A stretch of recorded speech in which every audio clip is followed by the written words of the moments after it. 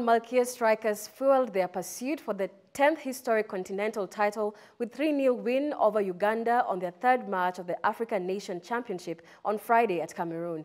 Malkia strikers stand top in Pool B alongside Rwanda, Uganda, Lesotho, Morocco and Burkina Faso. Their main mission is to clinch the title as well as securing a qualification to next year's Paris Olympics. Here are the details. Malkia strikers fueled their pursuit for the 10th historic continental title with their third 3-0 win over Uganda on the third match of the African Cup of Nations held in Cameroon.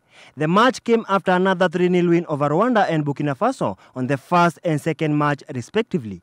Their powerhouse Sharon Chepchumba, who succumbed a knee injury on the build-up against Rwanda on Tuesday, took part in today's match.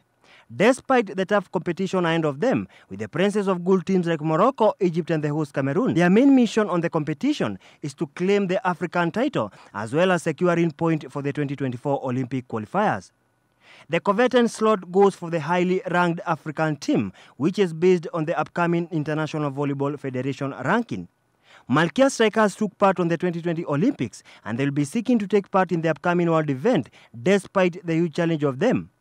The host country Cameroon stands in Pool A alongside Egypt, Algeria, Nigeria, Mali and Burundi. Malkia strikers will face Morocco on their next match.